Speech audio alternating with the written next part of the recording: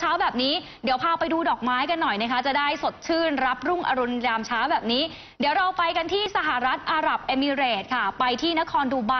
ตอนนี้เขามีงานจัดแสดงดอกไม้ครั้งใหญ่เกิดขึ้น ไฮไลท์อยู่ที่ภาพคุณผู้ชมเห็นตอนนี้เลยค่ะ เป็นเครื่องบินดอกไม้ที่มีการใช้ดอกไม้มากถึง 5 ล้านดอกเลยทีเดียวค่ะเครื่องบินลำนี้เป็นงานศิลปะดอกไม้ที่เป็นเครื่องบินที่มีโลโก้สายการบิน Emirates Airline นะคะ รุ่น A380 ซึ่งล่าสุดนี้ก็ไปทำลายสถิติโลกด้วยนะคะ เป็นงานศิลปะที่ใช้ดอกไม้มากถึง 5 0 0แสนชนิดด้วยกัน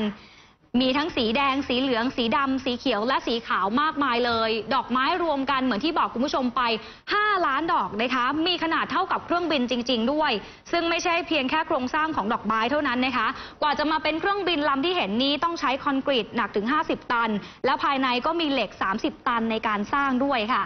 ทางด้านของสวนพฤกษศาสตร์ Miracle Garden ที่เป็นสถานที่จัดงานแสดงศิลปะชิ้นนี้นะคะ ก็บอกว่าต้องใช้ระบบรดน้ำพิเศษ เพื่อที่จะให้ดอกไม้เหล่านี้ได้รับน้ำแต่ว่ายังต้องเกาะกับโครงสร้างที่เป็นเครื่องบินเหมือนเดิมด้วย ต้องทำให้ดอกไม้มีอายุอยู่ได้นานถึง 5-6 เดือนด้วยกันค่ะ ซึ่งที่ผ่านมาถ้าใครได้ติดตามข่าวก็คงจะพอทราบนะคะว่า นครดูไบนี่ก็เป็นเจ้าของสถิติโลกหลายต่อหลายอย่างค่ะ ไม่ว่าจะเป็นอาคารสูงที่สุดในโลก ภาพวาดที่ยาวที่สุดในโลก แล้วก็ขวดน้ำหอมที่ใหญ่ที่สุดในโลกด้วย จนมาถึงเครื่องบินดอกไม้ลำใหญ่ลำนี้นะคะ ซึ่งใครที่จะไปดูไบในช่วงนี้สามารถไปชมเครื่องบินลำนี้ได้ เขาจะตั้งโชว์ยาวนานถึง 3 ปีด้วยกันค่ะ